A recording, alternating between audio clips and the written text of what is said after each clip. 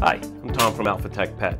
Today I want to show you how to install one of our Lafferty mixing stations. We went with Lafferty because they're sturdy, made of stainless steel, all brass fittings, and these polypropylene injector valves here. We're at Canine Chaos today. They were nice enough to let us install this and film it. First of all, you just want to start off with a level. I've already uh, leveled where we're going to put the mixing station. You need to have it near hose, so we have water here with just a, a regular garden hose fitting, and we're going to put it right on here. So make sure it's level, and you also want to make sure that the unit is higher than the, the chemicals that you're using because you don't want any siphon to go backwards. So if it's up higher, it's not going to draw the chemicals on its own. So you're just to mark off here. So that.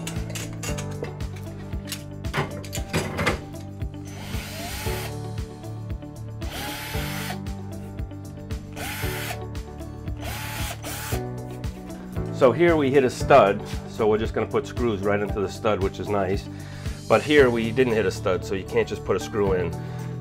The drywall will pull right out, so we're going to put these plastic anchors in first.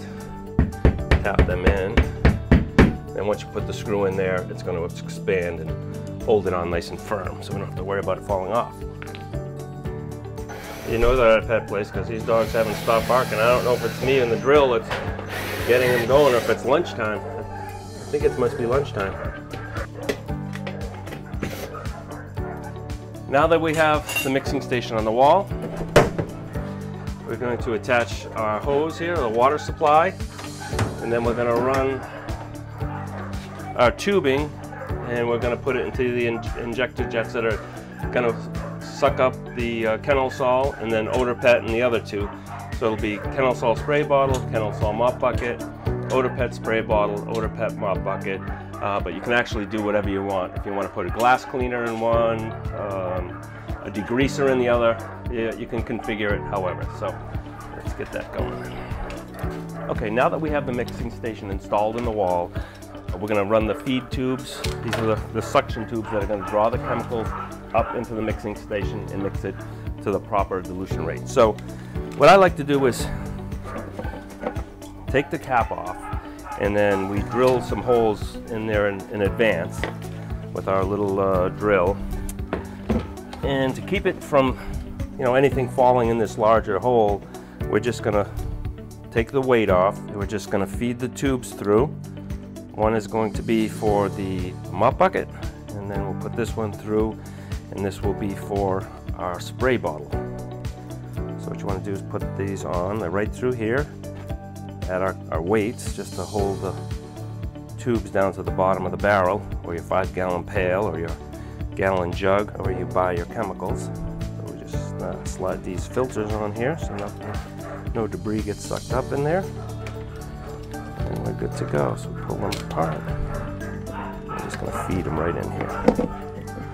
And just slide them down. The, the tube's curled up because we just got it out of the box. And then you don't have to put this on very tight, just enough to hold it in place. Okay, so now that we've got the cap in, the hoses in, we made sure that the tubes go all the way down to the bottom of the barrel so you're going to get all the liquid out of it. We're gonna take the hoses, we'll tack them to the wall, make it look nice and neat. This particular job, it's running through another wall that we had pre-cut, so we'll go from there and we'll show you the rest when it's done. Okay, so now we're gonna attach the hose, and you wanna make sure that you use a washer that has a screen in it. You wanna, that'll just eliminate any chance of debris getting sucked in and clogging the injectors, just ruining your mixture. So we'll put that in there first.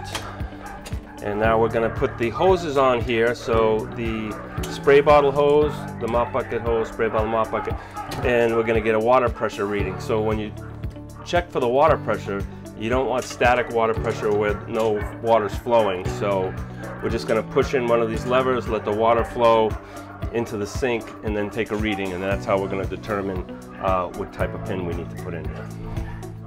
Okay, so now that we have our hoses here. This is uh, For a mop bucket, it goes right down to the ground, and the shorter ones are for your spray bottles. So we're just gonna stick it right up in here where the uh, connection is.